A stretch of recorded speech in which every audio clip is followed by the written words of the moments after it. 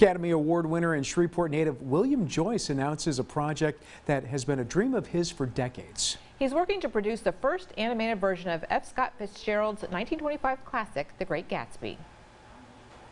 changed me, changed the way I view life.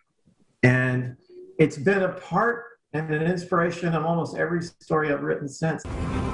He and his team are currently working on an animated short film to perfect the style they plan to use on Gatsby. Collaborators from Europe, Asia, and the United States are working together virtually due to the pandemic.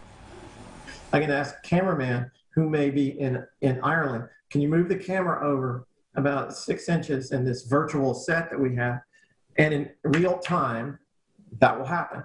And that just has never been possible before. It's pretty exciting. Joyce says animation will bring to life the dreamlike quality of the book, which has been missing with other film adaptations. Cannot wait to see the finished product there.